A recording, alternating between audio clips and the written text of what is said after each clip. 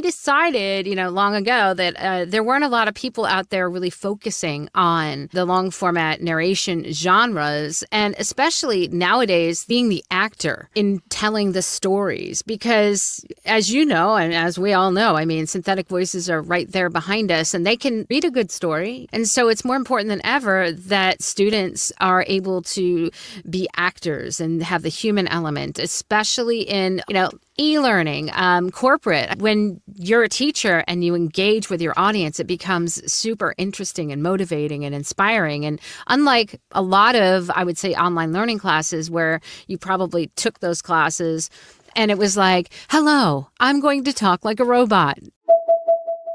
George the tech. Hey everybody. It's george the tech in a different environment today because I'm at my folks' house this week here in Pennsylvania and it's beautiful. But I've got somebody else to talk to you this week for our George the Tech Trusted Partner interviews. Today I've got with me Anne Ganguzza. How are you, Anne? George, it's uh, wonderful to be here. So great to have you here. And, you know, you and I are kismet in some ways. We're both from the ah, East Coast, yes. right? So I think we have a lot of that fast talking, quick thinking kind of, you know, mindset, right? We both do. Yes. Your voice acting and coaching now is fabulous, but you really come from a more technical background. Why don't you give mm-hmm. everybody a little bit of a rundown, kind of, you know, over the next few minutes, five minutes, 10 minutes, whatever it takes. Tell us where you got, how you got to where you are now. You began in a non performance field and morphed yes. into performance. How did that yes, work for you? I did. I actually started in a very technical field, um, and I actually started as an engineer for an orthopedic company, and literally um, loved that job and did that job for about six years. And ultimately, in one of my computer training classes, because I, ha- I was fairly technical back then, um, because I did a lot of my design work on the computer, and I met my to be boss in education for the f- next 20 years. Um, um, at one of my computer classes, and they were opening up a really cool, you know, technology, uh, you know, magnet school in New Jersey, and they asked if I'd like to come and teach at it and work at it, and I I said, yeah, you know what, that sounds like fun. And, I love hearing uh, that you have a teaching background. I yes, didn't know that you had that teaching background, I, and that's I have huge. a yeah, I have a long standing teaching background. So, literally in front of the class, um, over 20 years. And so, I taught high school, I taught adult continuing ed, I taught college, um, and really just absolutely love education. And if you said to me, Anne, what is your true calling? Um, I would say it's to be an educator. So, I really, really enjoy educating and uh, coaching. Um, but I did that for 20 years in New Jersey. And then ultimately, my husband got a job transfer out in California. And I was kind of excited because not that I didn't love my East Coast, I do love my East Coast. Um, but it was, I was getting tired of the snow. And uh, he got a transfer to California. And I was like, yes.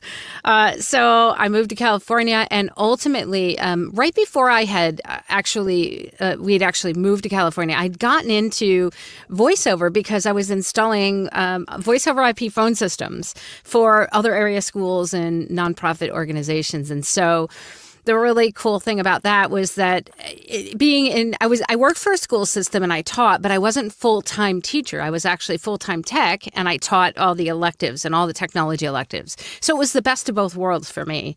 And when I wasn't installing some sort of really cool new tech, because a lot of you know technology companies wanted the the kids to learn their technology, so we were like we were like an Apple Academy, we were a Dell Academy, we were a Cisco Academy, we were like every type of hardware software academy wow. that you can think of because all those companies wanted students when they were young to learn it and then come out of school knowing it. And so I, I got to have so much fun just playing with tech. And uh, that's really where my technical background comes from. And it's also where I believe you and I, you and I kind of really sync up on this because yes. we always are on the bleeding edge yeah. of technology. We're always, and gosh, you, I God, we've known each other forever. I mean, I hired mm-hmm. you to to live stream my uh, my VO Peeps networking uh, group from 15? from that was like twenty. I want to say twenty because I started doing that in twenty. 10. Yeah. So I think I might have hired you a couple years later, like in 2012, Yeah. because I was live streaming from my coffee table. And George, forgive me, what were, what was the technology we were using We were to stream edge. at that time? I don't know why even. you- Ustream? I don't know was why you expect me to remember that, but it probably. What? yes. I'm going to say it was, Ustream because that's what we were Yes. using for, for VOBS. So that's what I was Yeah. familiar with. Yeah, Yeah. Ustream. Mm-hmm. Oh my gosh. So and and you know when when I talk about my VO Peeps group again, that was when I had I had finally moved to the West Coast after 20 years of education, which again I loved, um, and technology. I missed teaching, and so I wanted to create that VO Peeps group to kind of have a, an educational resource and to offer educational resources to uh, community of voice talent. And um, and as I was starting to see now, I'm all over the place. But as I was alluding to, I had gotten into voiceover, you know, a couple of years before I left, uh, because I started installing voice uh, voice over IP Yeah, phone as soon as you systems. said and I- phone systems, I was Yeah. like, I bet you were the one I was the was voice. doing the voice. I was the voice. And that was such a cool thing because people weren't, you know, you're a tech guy. So, you know, and, and you, you solve tech issues like on a day to day basis, which is kind of what I did and I loved it.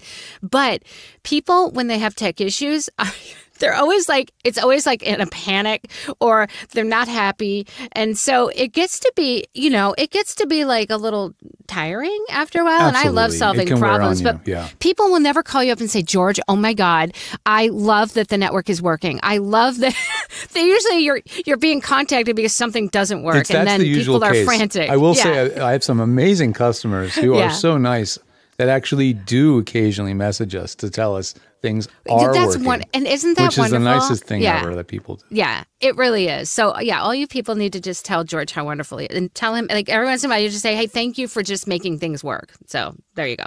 We all appreciate that. It feeds our Um, yeah. souls. It's true. So when I was recording phone messages, because it was so long ago, it was in the 90s, Mm-hmm. okay, there was no, you couldn't upload sound files to your phone systems. Phone systems weren't that advanced yet. You had to actually pick up the phone and do a live recording. You literally just recorded So- right into the handset. right into the handset so i had to be good at live and so the funny thing is is that whenever i did that i would go and lock myself in a room and when that happened nobody could complain to me nobody could say my network's down my email doesn't work um, and so i would lock myself in the room and become like the best you know phone voice you ever heard or i was imagine myself. And that's really i, I got bit by the bug.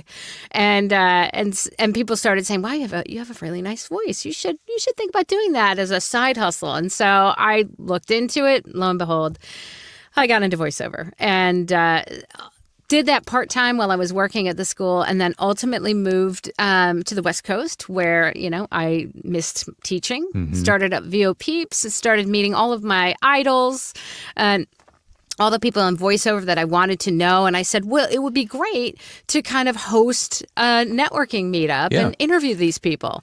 And uh, that way I'll get to know them. They'll get to know me. I get to know people on the West Coast. Technology Yep. and uh, you know, Yeah. forty people in my house be damned. Yeah.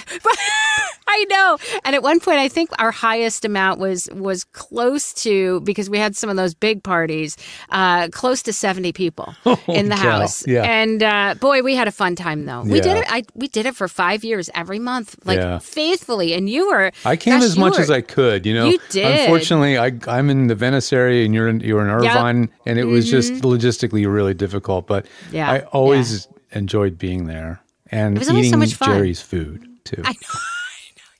I know we made it like a whole cook. party. We made it a whole party. We themed out like food and drink and yeah, it was good times. yeah, good so and, so the voiceover side of it for you Yeah. became pretty Full much. Mm-hmm. 100% of your life when you moved here or moved to California, I should say. Yeah.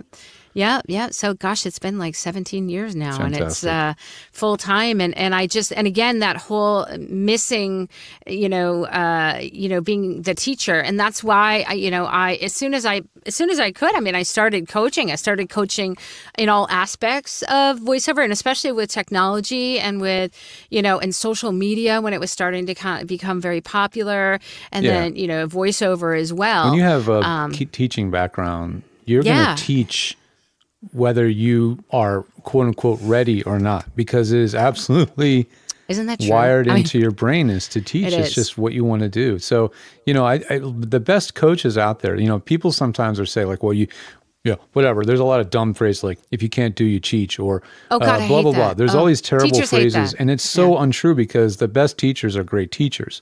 Yeah. It's it, you know I've had the professors in universities who are they're great scientists, and then they teach you physics, and it's it's a miserable experience. So I've been there. I've been Yeah. it taught by someone who should not be teaching, who's just there Yeah. to do research, right? So I don't think there's that's there's a lot of truth to that. And and your experience has built rapidly over the years, and you're just sharing what you've learned, and, and you're you really have kind of found.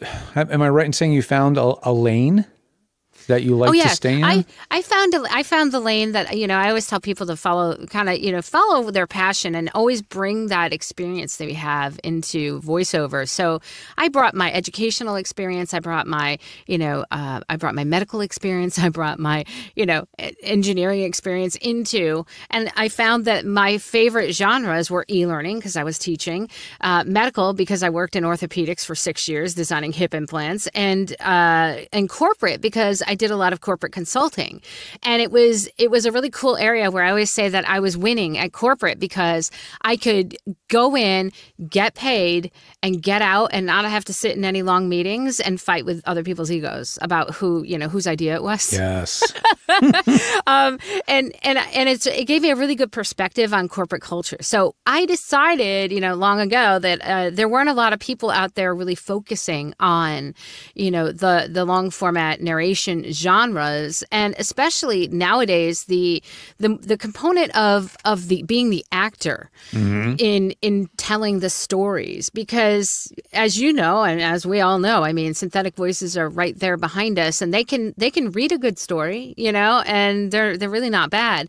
And so it's more important than ever that students are able to be actors and have the human element especially in all those ones you know e-learning um, corporate. I mean when when you're a teacher and you engage with your audience it becomes super interesting and motivating and inspiring. And unlike a lot of i would say online learning classes where you probably took those classes and it was like hello i'm going to talk like a robot you know and it just became super not That is a very old school, Mm-hmm. flawed thinking that it is. It is teaching or narrating and e-learning or any kind of educational stuff Has can be can be dry articulate. and flat and mm-hmm. lifeless and Yeah. not act not and, and not a form of acting and and the Yeah. ones that that book and the ones that succeed and the the best companies want those people they want Yeah, the people that can absolutely. make really translate what's on the paper with energy interest and excitement and Yeah. clarity to en- the students And engagement. Yeah, and engagement. And you know what's interesting too about corporate, which there's so much there's so much misconception out there about corporate. Whenever I say the word corporate, right, it means company. Companies exist, right, to sell. Sell products or services. That's it. So when you talk about corporate narration, right? Why does a company put out a uh, you know a, a, a video with with information about their company, even if they're talking about their mission statement, right, or talking about how they give back? Well, they're they're selling, they're selling their brand, they're selling their products and services, and it's a super super subtle sell. Oh, lots of S's there, George. I I'm not sibilant here. Uh, it's a very subtle sell, and so for me, you know, intellectually speaking, I love that because it's so it's such a challenge. It's such a creative challenge. And for those people that really want to, you know, excel at the long format narration and be that voice that can you, that can really bring the brand to life and tell the story, they're the ones who actually have to understand and analyze the script and then be able to tell that story um, and make that, you know, I say make the words come alive. Yeah. It seems so cliche, but in reality, that's what you have to do more than ever, even in corporate. And the funny thing is, is I'll have students say, "But that's not what I hear," you know, when I, you know, out there, and I'm like, "But that doesn't mean that it makes it good. Right. Just because you hear it and it exists out there, you want to, you you want to be, transcend that yeah, you want to, ex- you want to be elevated. You want to be that narrator that's like amazing, Yeah. and people are just like, "Oh my god, I can't put my finger on it," but, or boy, they really know how to tell a story, and I want that. Well, I want that person. Now we get to talk about how they get to achieve that skill set with you. Well, how does your program work? And what do you look for in somebody that wants to work with you? I want to have a discussion before we start working together to find out, you know, what are their goals, what are their aspirations. I love working with students who who want to be students, right? Who want to work at it. There are some people who are in a hurry, uh, yeah. you know, and, quickest you know, because way to I, cash. They're kind of Yeah. like, all right, lady, let's get let's get to the bookings. and and they almost get upset when I, I'm like, well, no, wait a minute, we really need to kind of work on your acting, and they're like, but it's just e-learning, it's just you know, it's just, I mean, I don't understand. I They you might know, even I be checking. and- they might be choosing this uh, category because they think there's no learn. Exactly. It's kind of like and if they- I was be told there's no math. Yeah, yeah. and, and I didn't realize I'd have to work at this. And the funny thing is, is that because it's just the simple fact that it's longer than a 30 or 60 second commercial, guess what? The chances of that copy being horrible are that much greater, right? And you've got to really go, you know, cut through the weeds and cut through, you know, that bad writing and find that story and you've got to hold it for longer. So for me, it's like such a cool creative challenge to do any type of long format narration and to be like engaging, to be that actor. And so And carry to work with throughout. me yeah, and carry it throughout. I mean, not just at the beginning of the scene, but Mm-hmm. three quarters of the way through that five minute script, right?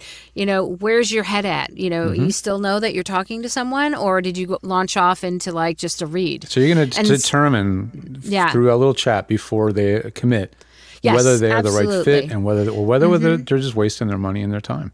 Exactly. So I really believe in coaching before demo production, and I'm that person who I'm.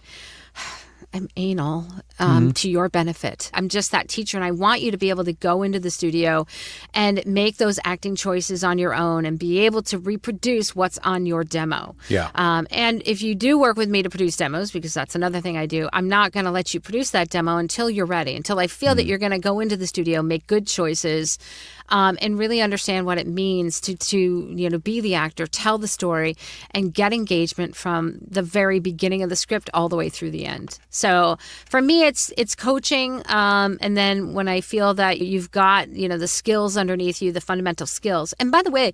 The fundamental skills that I teach are going to work for any genre. Um, Right, I- right. as I was mentioning about corporate, it's a sell, right? So think about it as a long commercial. It's just nuanced, right? So it takes longer to get to the cell, and sometimes the cell is really not obvious at all. Yeah. But in reality, I'm teaching the same thing that you would need to know if you were working with me for commercial. Yeah. So the fundamental techniques are to assess the story, understand, you know, who you are, and uh, how you can engage with your listener. Mm-hmm. So. And well, tell us where they should start with you and what they can expect and when they get started after that interview. Always go to anneganguzza.com. You can book a free 20 minute consult with me, and then I can get an idea of, you know, what it is you're looking for. I kind of like to have people who are looking or have an idea of what genre they want to study. If not, then we talk about the different genres. And I always make sure that people are aware of the market out there because while a lot of people may want to start off and do animation or commercials, sometimes long format narration really, it's a huge marketplace. Uh, it just may not get the glory. And it doesn't shrink. Uh, yeah, it doesn't shrink at all. I mean, 30.4 everybody gets sick of me saying this, but 30.4 million registered companies. That's a lot of opportunities. You know, every one of them has something to sell.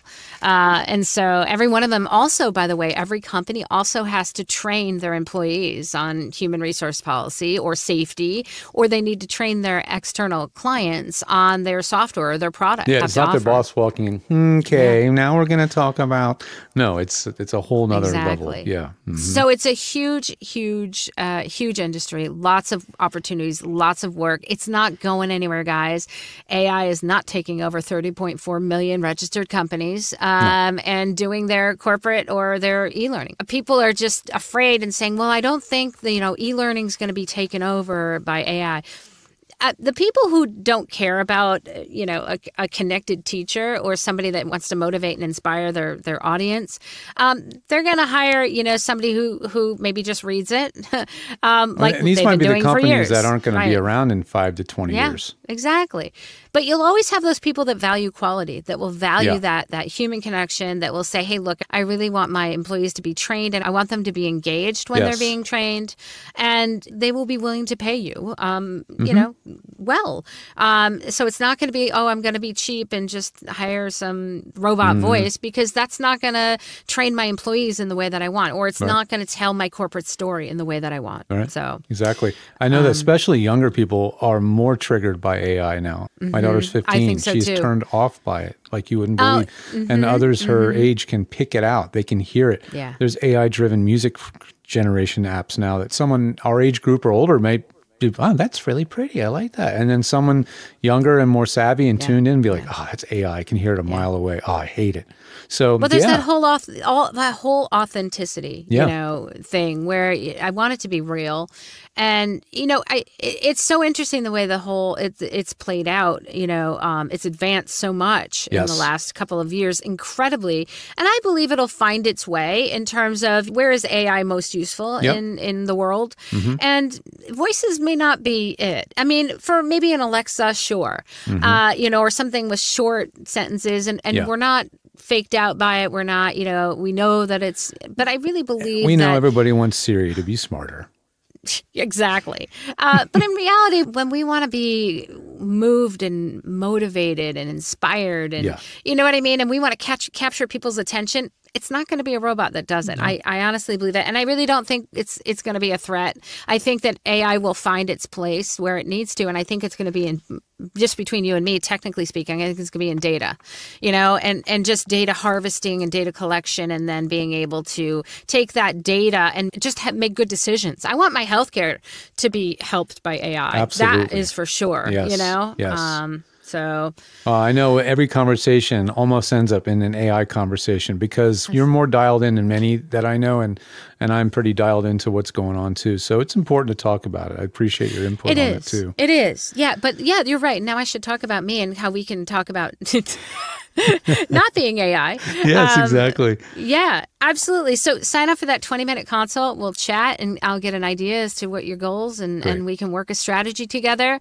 And then ultimately, you know, everything is on anneganguzza.com. Mm-hmm. You would sign up for a series of coaching sessions. And then ultimately, um, I like to lead into a demo because why not have a demo produced by someone who's worked with you and, and directed you Mm-hmm. for, you know, all of these sessions and that knows you. And so I'll be vocally branding you as we go. And Yeah. that is, you know, I'll be listening and saying, okay, I like the way, okay, I love the way your your sound um, works with this brand or in this demographic. Yeah. And so your demo is really not just all about your voice, but it's also a strategy. It's a marketing strategy. Hmm.